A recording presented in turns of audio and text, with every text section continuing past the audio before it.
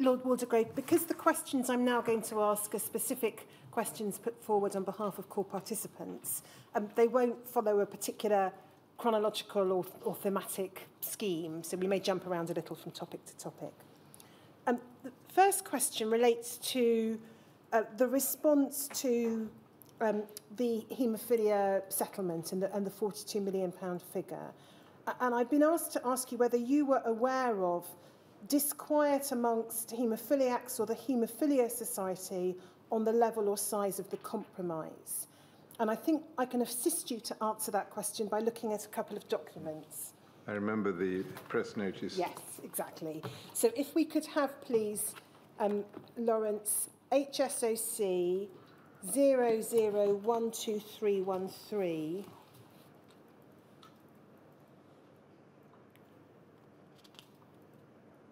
Um, so this is the press notice of the 11th of December 1990 issued by the Haemophilia Society. The Haemophilia Society today reacted with grave disappointment to the announcement by the government that £42 million is to be made available to people with haemophilia and HIV. Uh, and then Mr Waters, the General Secretary, um, is recorded as observing, we welcome the fact that the government have finally recognised a greater responsibility to people with haemophilia and regret that by deferring that decision for so long, a great deal of personal anguish and suffering has been caused to so many of our members. Um, and then and there is recognition of the role of uh, Mr Major and you. It's a triumph for a caring Prime Minister and Secretary of State for Health, John Major and William Waldegrave, to be applauded for addressing this problem so promptly. It is unfortunate that the settlement has been so low We are naturally very disappointed with the level of the proposed settlement. It means that each of the 217 claimants will receive an average payment of £35,000. I'm not quite sure where that figure comes from, but in any event, and this is a settlement which has been agreed between both the claimants and the government's lawyers and is naturally one which we have to accept. And then um, it continues over the page, but I'm, I'm not going to read the, the rest of it. Um, I, I think it's right that that came to your attention whether or not it was because of the press release, you, I think, received a letter from um, Mr Waters. Yes. Uh, and uh, it, it essentially reflects the uh, concern about would, would like to have seen more money made available. I, I'm not going to um, put that up on screen. It's DHSC 000365 underscore 011. Um, Um, and, and you responded to that, and I think we will briefly put it up on screen, and then I'll go back to the question. That's DHSC 00031119 underscore 006.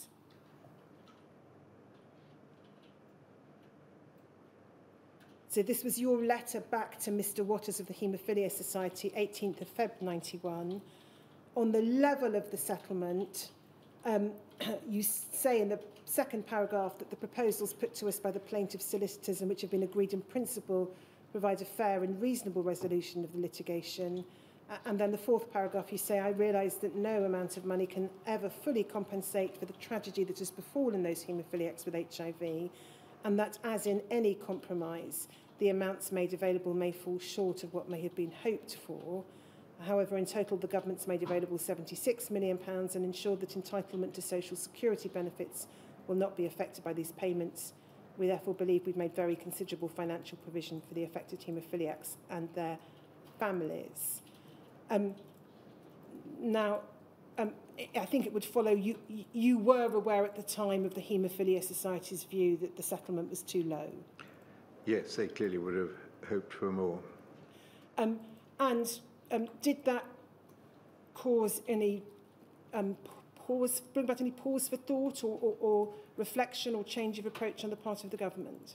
Well, I think um, what dominated my mind at the time was, first of all, obviously, that the proposal had come from the, uh, the victims' lawyers. Um, and secondly, some benchmarking against what was happening in other countries. Um, and that, I think, led me and others to think that uh, this was a fair settlement, though clearly, uh, as I say in the letter, not compensation, but a, a, fair and um, uh, settlement which which st stood reasonably well in comparison to other countries and to what the lawyers themselves had suggested. And now, if we just leave this on screen, because I'm going to ask you another... Just sorry, one yes, other important point, I think, in that letter and throughout. We do say in that letter that although this is a, a, an out-of-court settlement, we will, however, continue to keep under review the amounts available to the McFarlane Trust, which is quite unusual in a, in a settlement of this kind. And that, I think, in fact, anticipates the next question I was, I was asked to ask you. So you'd mentioned yesterday that, that there was the agreement to pay the 42 million, but the mm. possibility of additional money. Mm-hmm. And as I understand it, that was a reference to the keeping under review the monies that would be made available to the McFarlane Trust. yes. Um, and then I was asked to ask you whether that was an announced in any um, form uh, so that the plaintiffs or their legal representatives would have been aware of it. Th- this is a letter to Mr Waters of the Haemophilia Society and, and the paragraph you've just referred to is the last paragraph on this page. The last sentence where you say we, So, we I- will, I- however, continue think, to... I think we had made that clear, to, and I, I can't remember whether, of, without looking, whether it was in my written answer, but it was certainly clear, I think, and subsequent events showed that there were further payments. Um, Um, and if we just go to your final written answer when the final terms of settlement had been agreed, that's DHSC 0002451 underscore 011.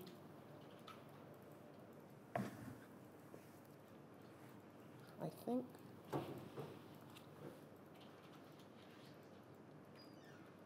Um, we can see this is the June 1991 um, announcement. Uh, and if we go to the second, um, sorry, the right-hand column, please, Lawrence. It's the fourth paragraph down, I think. So um, uh, I read this out yesterday, uh, I, I think, but we um, see there the reference to the 42 million, the reference to the previous sum. And then it says, we are also committed to ensuring that the original McFarlane Trust set up in March 1988 with a government grant of £10 million pounds will continue to be able to give additional help where there is special need. Now, that's not ne- necessarily completely clear, but is that a reflection of the what you'd said in the letter to Mr Waters, the keeping under review payments to the McFarlane Yes. Trust? I, I would certainly believe that to be so, yes.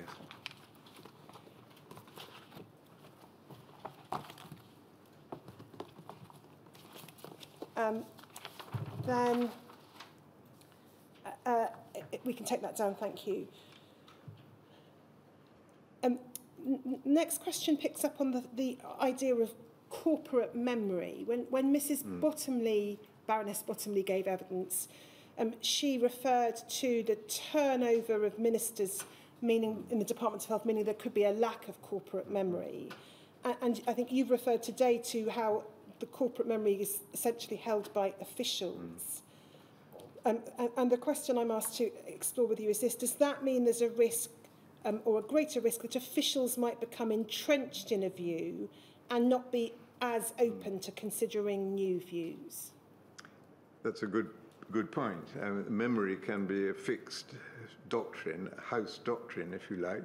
Um, I think there are two sides to it. I think officials remembering past issues um, and past arguments is a good thing because ministers, uh, particularly, for example, in my case, come to their new portfolio completely cold. But of course, you can get an entrenched uh, uh, departmental view that it takes a strong minister to change. So there's pluses and minuses. I think I think forgetfulness is is bad, but forgetfulness, but but memory shouldn't merge into uh, fixed doctrine, if if you like. Um, in your evidence yesterday, um, you uh, um, talked about how a response to information from experts about emerging public health issues would, could sometimes be it's just another scare, isn't it? Uh, uh, and the question building on that is this Do you think there uh, was or, or is a tendency for politicians to hope that things were not as bad as they in fact were, and, and then to go on to hold this as an entrenched view? Or, or put another way, is there, is there an element of wishful thinking of hoping things will turn out all right? I think there are different kinds of personality amongst ministers. Um, my um, uh, children once gave me the little book of gloom by Eeyore for Christmas, and then forgetting that they'd done that, they gave it me again for next Christmas. So I perhaps tend to the, the, the gloomier side, but there are some who are tiggers. I think this perhaps is true of, of, of the population at large. I think a certain amount of Eeyoreness is a good thing, however, I would argue, because you, you need to try to imagine the risks that there are out there and, and preempt them if you can. Um, but one mustn't be too gloomy.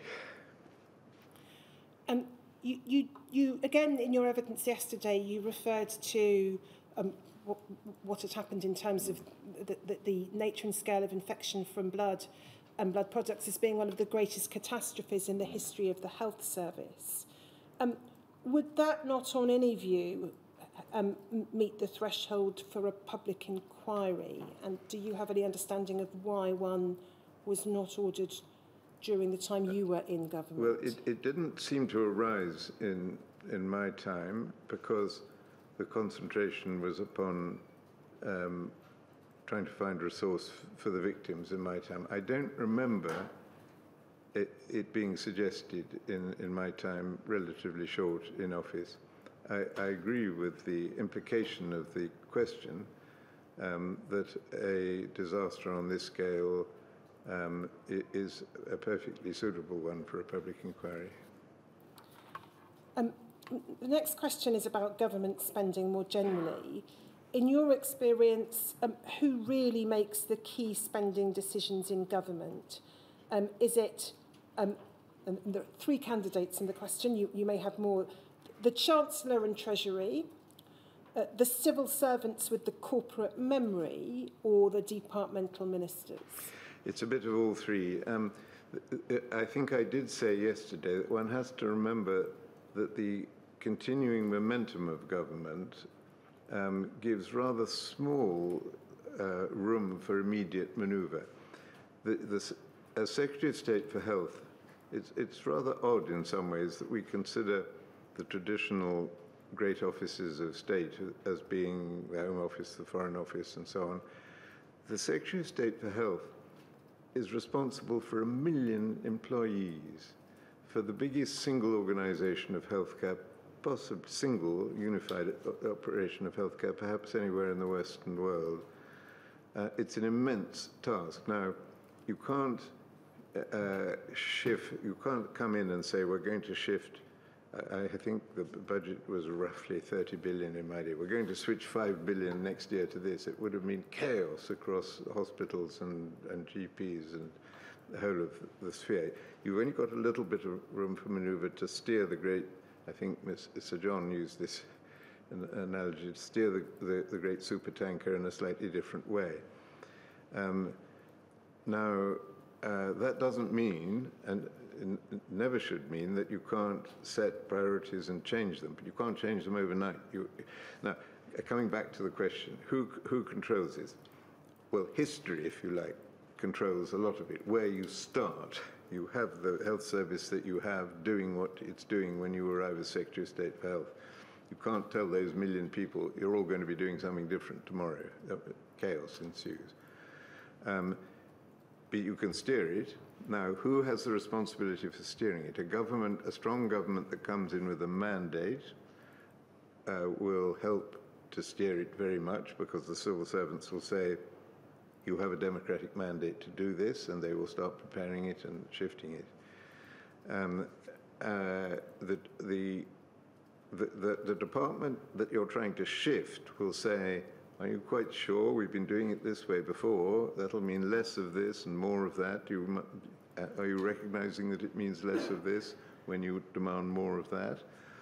Uh, those are legitimate and important points to raise, and uh, if you're well founded in your change of direction as a minister, you'll be able to, you, you must win it through. But you must also have the support of the officials in the Treasury. The Treasury is organized uh, in the Chief Secretary's department, in the spending departments, with having little very high powered but quite small shadow teams that shadow each department. And um, if they are not convinced either that the government knows what it's doing by shifting to this new priority or they think it's wrong, they will try and stop you. And uh, you will then have to persuade the chief secretary, and if you can't persuade him, go to cabinet, and chancellor and other ministers would be involved. So it's all, it's all three, I think. Um, uh, and, but I'm one of those who is very averse to the idea that civil servants just overrule ministers all the time. And it's all the, when you hear a minister blaming the civil service, it's because the minister doesn't know either either doesn't know what he or she wants or doesn't know uh, doesn't clarify it enough. The proof of that is that I was part of the introduction of a very bad policy under the Thatcher government, the poll tax. I had a part in that, in the design of that. It was a very bad policy, I think, but it was put to the electorate. It was pursued in all sorts of ways. The government came in with a mandate to do it after the election. The civil servants did it to the best of their ability, though I think to a man or woman they thought it was the wrong thing to do. So if you know what you want to do, you can get it done in government, and blaming the civil servants is a cop-out. Um, The next question um, just goes back to the HIV litigation and the particular position of Scotland. Um, I'm, if you need me to take you back to any of the documents, I, I, I will, Lord Watergrave, but I think probably we can uh, um, deal with this without, without looking at them. Um, do you agree that the Scottish haemophilia litigation and, and the position of the Scottish litigants was something of an afterthought in the settlement negotiation process? I, I think that probably is a fair characterisation. We sorted it out afterwards satisfactorily, but it hadn't been considered before. I think, as I said before, the principal reason for that was the speed with which things were moving. Now, you've talked about the, the, the, the importance you attached in, in your thinking and your decision making to the advice that, that you were receiving, the legal advice that you were receiving about the, the, the merits mm -hmm. of the, the case and, and, and or respective merits of the case. I think the documentation suggests that the litigation in Scotland was at a less advanced stage. Yes. Um, does that, combined with the, the, the way in which the, the, the negotiations took place, mean ultimately that um, uh, in, in the overall settlement, no separate consideration was given to the merits or potential legal merits of the Scottish litigation? I, I don't, well, I have to be careful because I, I haven't seen many documents of the Scottish office, but I, Uh, Ian Lang is an extremely conscientious minister, a Secretary of State, and I'm sure that if uh, serious uh, and difficult issues had arisen in Scotland, although it would have caused uh, grave difficulties if they were going to arrive at a position uh, seriously different from the overall UK position which John Major and I had announced, they would have been considered. So I, I can't really answer in detail, but I, I would be very surprised if um, the uh, uh, uh, the Scottish office then hadn't uh, wouldn't have raised. I recall from the papers complicated issues about category G people, for example. I think there was consideration given carefully to these issues. Um, you've, you've explained as a matter of fact that the issue of um, giving uh, any form of financial support to those infected with hepatitis C was not something which um, you gave any particular consideration mm. To. The, the, the question I've been asked to raise with you is, is why that was the case. Why do you think that the department, um, that, that you were not looking at the position of those infected with hepatitis C given that, in parallel, the department at least was aware that um, the issue of screening was, was under consideration in recognition of the fact that this was a serious condition. Hmm. I, I can't give a, a, a real answer to that because the, the, the issues just never came before me. And I think if I start to make up plausible arguments, I shall, I shall not give a good answer. Um, the next question is, is this. If the litigation had not settled and had been fought to trial and the plaintiffs had succeeded, from which pot would the damages and costs have come? Department of Health, Reserve, or somewhere else? Uh, a lot of ifs, but uh, they would have um, probably come from the. Uh, I don't know. I'd have to think of whether. I don't honestly know. Depend how much it was and so on. Um, uh, I imagine the Secretary of State for Health, having lost that case, if, I'd, if, if it had gone to court and we'd lost and there was some uh, uh, very large uh, bill, I would certainly have tried to get it from the reserve, I'm sure. Um, but, but in other cases, of course, smaller cases where, because there were negligence cases that were won against the, the health service uh, all the time, they, they normally came out of the the uh, budget of the health service under under Duncan Nichol. But I think if there'd been a huge defeat like that, the new money would have had to be found from somewhere, and probably the reserve. Um, is there room in government? Is, this is the next question, entirely unrelated question, for um, some form of devil's advocate to challenge and test received wisdom, particularly where there is a risk of groupthink and entrenched views? Yes, and there's been a development over in recent years on this, it seems to me, if I understand it rightly, by the establishment of the, they're always referred to in the newspapers as tsars. I don't know why, uh, particularly as they're mostly tsarinas, but um, uh, independent, they're civil service offices, they're, but they're independent commissioners with a, with a, a championing, a championship right. My youngest daughter works for the Children's Commissioner. I think those are rather good developments where they're part of, of Whitehall, but they're independent and they're meant, as I understand it, to raise the issues for their area. So that would, that's one way of meeting that rather sensible suggestion, which has happened in recent years. There may be more to be done in that way.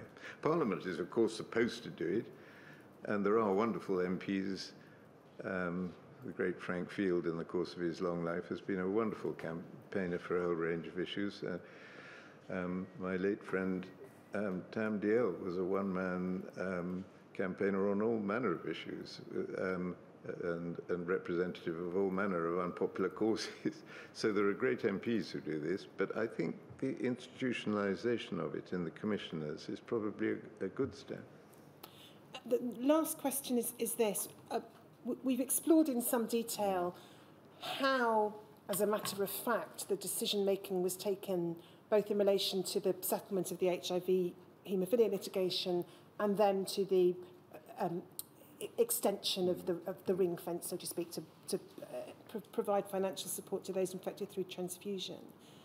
Um, and you've talked about the response to campaigning and mm -hmm sense of a moral case, there were the financial, reputational considerations, and so on. Were there any underlying principles guiding the department um, uh, according to, to shape the decision making about who might get financial support and who might not? Well, um, one has to remember, of course, that they were responsible, the department was responsible for the whole of national health care. And there were thousands and thousands and thousands of other uh, uh, responsibilities that they had to ensure. I gave the example of one that was always coming up and causing problems and causing huge press campaigns sometimes, which were new drugs. Um, very expensive, often coming from America, but often promising great benefits. Um, and what were the principles? Well, the principles. Can, can I say this? I, th I, think that most of the officials in the health department were there by choice. They, they, they wanted to work in healthcare, particularly the more senior ones. They, had the, they have some steerage over where their careers go. They were interested in the issues of public health and they were very knowledgeable about them. And they worked all hours of the day and night trying to advance them. I think their principles were were, were what one would have thought. How do we do the best for the public health of the country with the limited amount of money we've got. That's not, I don't know whether that's a very good answer, but it's the nearest I can give, I think. I don't think there was any separate morality. I don't believe in a separate morality of government. There isn't such a thing as a raison d'etat. That's just morality. And there was no such thing as a separate morality for the Department of Health. It was trying to do its best with lim always limited resources for the health of the nation, which is what we called our campaign. Um, and on the whole, they, they did it conscientiously, I think. Um, uh, would it, having regard to the material we've looked at, be right to understand then that obviously th there were cases where um, there might be negligence mm. and, and legal liability, mm. and so compensation might follow in, mm. in those cases. There was the policy against no fault compensation. Mm -hmm. And then, in terms of the, the, the circumstances in which the department might provide financial assistance mm. of some form to those um, who didn't fall into the mm. category of establishment of legal liability. Mm. That there were no mm.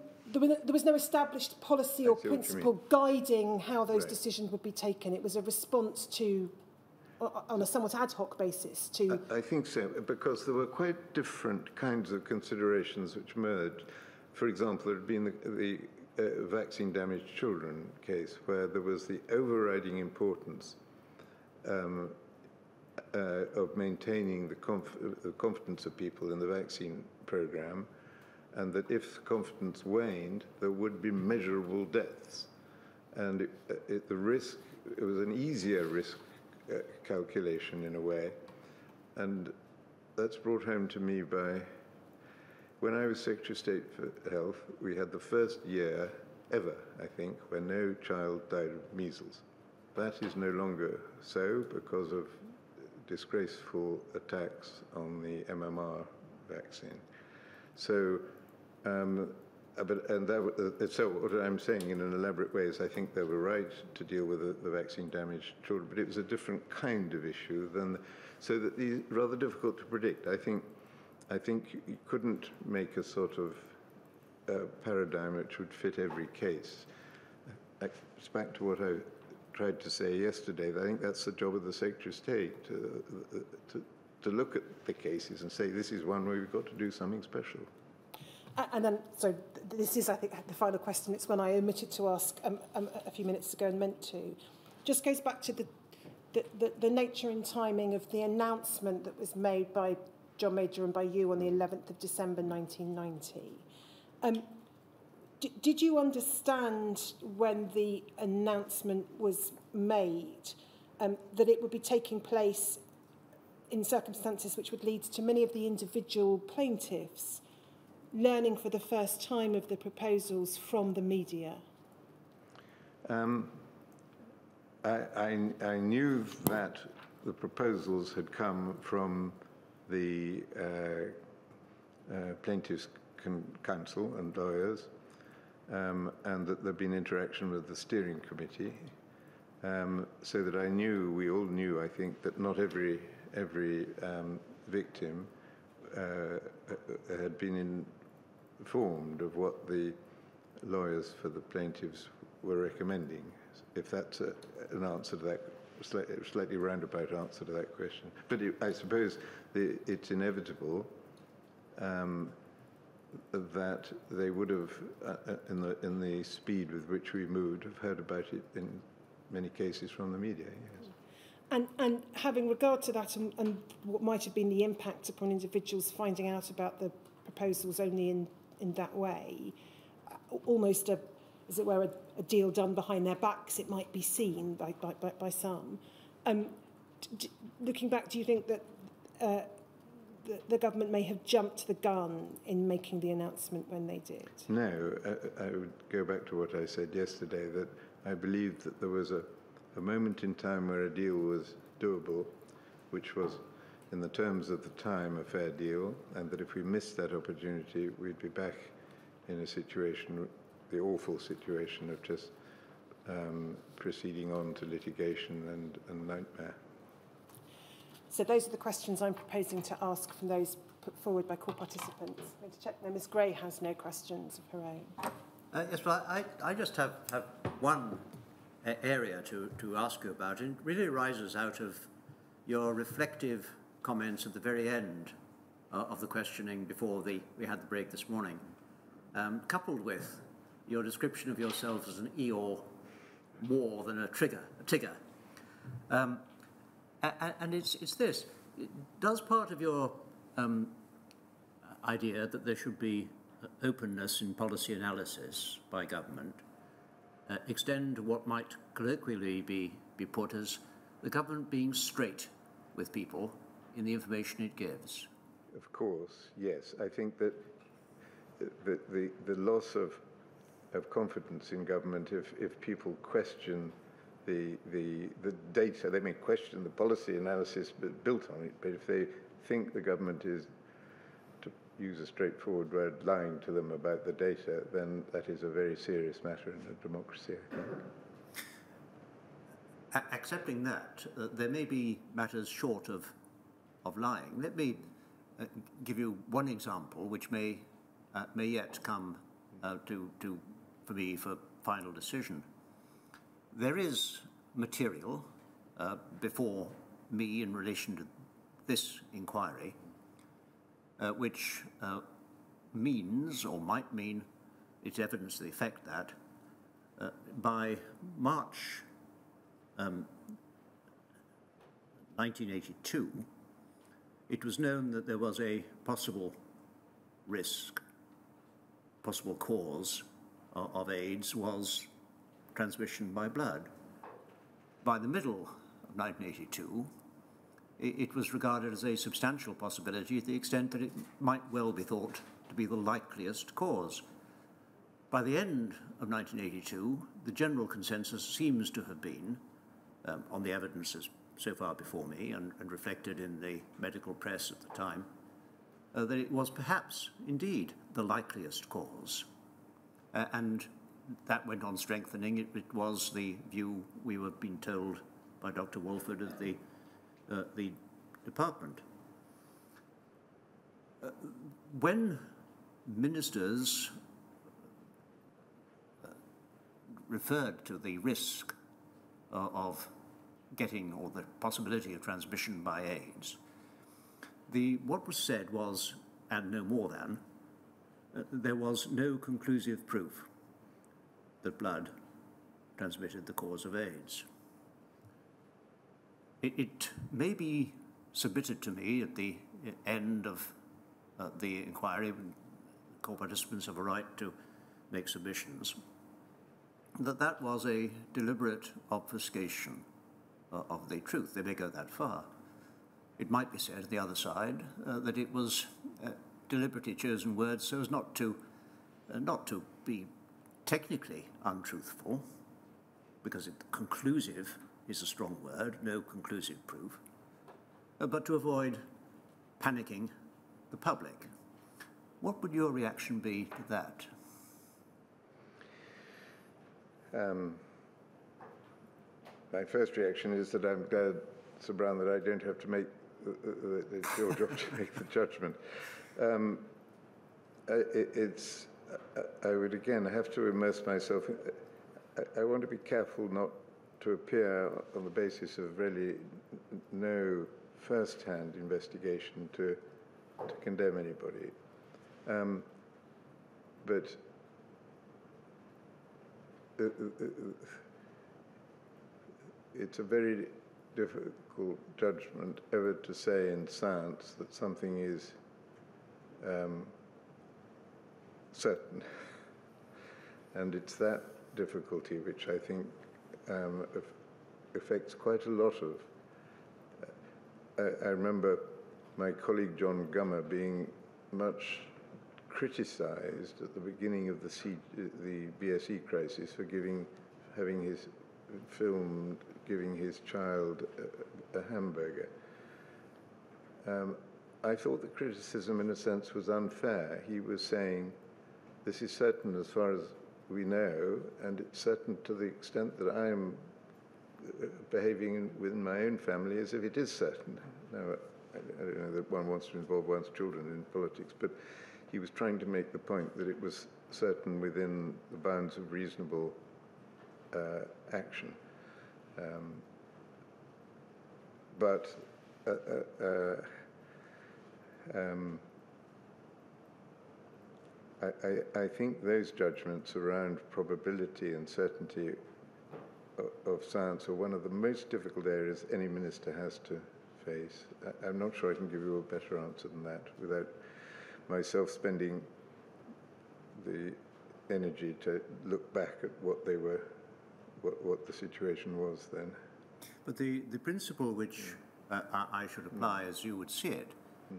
uh, would be that the government should be open uh, as far as its analysis is concerned and shouldn't hide any facts yes. on the public. What, what you can't do, what you shouldn't ever do, uh, I think, is hide the analysis, the scientific analysis that is coming to you, because they will be. The government has very good scientists working for it, but sometimes scientists outside will say, will want to say, you've got the balance wrong, eh, or you've made a mistake, or there is, there are other considerations here. You've, you've got to protect yourself against that, and it goes a little bit back to, to, to what we were talking about earlier about being willing to make mistakes in this area of factual analysis. You've got to follow the great saying of Maynard Keynes: "When the facts change, I change my mind." Thank you very much. Lord Waldegrave, was there anything that you wished to add? Yes, um, briefly. Um, um, I'm um, grateful and, and um, impressed by the questions coming from the uh, core participants. Um, perhaps I could say a few words which are really directed um, to them as much as to anybody else, which is to say this that in the 18 months or so that I was Secretary of State for Health, I did not find anybody, in my judgment, either of those I agreed with or those who very vehemently disagreed with me, who did not act in good faith. Um, we were wrestling with difficult problems, and I believe that the decisions we took, whether right or wrong, were taken in good faith. But second, um, we did change the policy in the teeth of to pay what was then seemed, and I certainly take the question that was put to me as uh, whether this is adequate, but was then seemed a fair settlement at the in the terms of the time. I'm glad that the door remained open for further uh, for further support, and I'm very glad that this inquiry may be able to do a great deal more. Um, but I think we were right in what we did then, and I'm also pretty sure that it wouldn't have happened without um, a, a kick or two from me.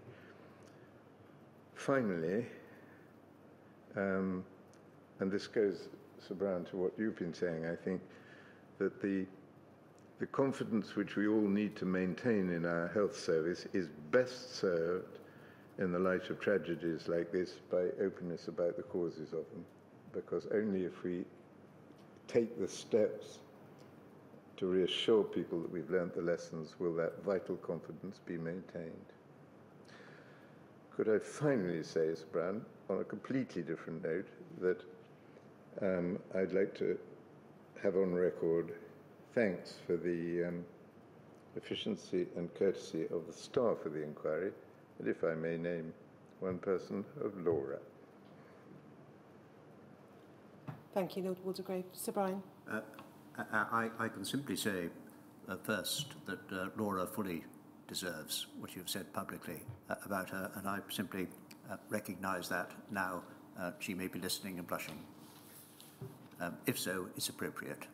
But can I, um, in particular, uh, thank you for your evidence. It, the, you've given us, I think, a fascinating insight into how policy can be made by one person um, having a, a, a, an idea uh, as to what is right and what is not, uh, and how that idea can be progressed through to a conclusion, and the various different pressures uh, that my upon it, the, the turning of the supertanker or the adjustment of the steering wheel, um, uh, uh, as you've described it.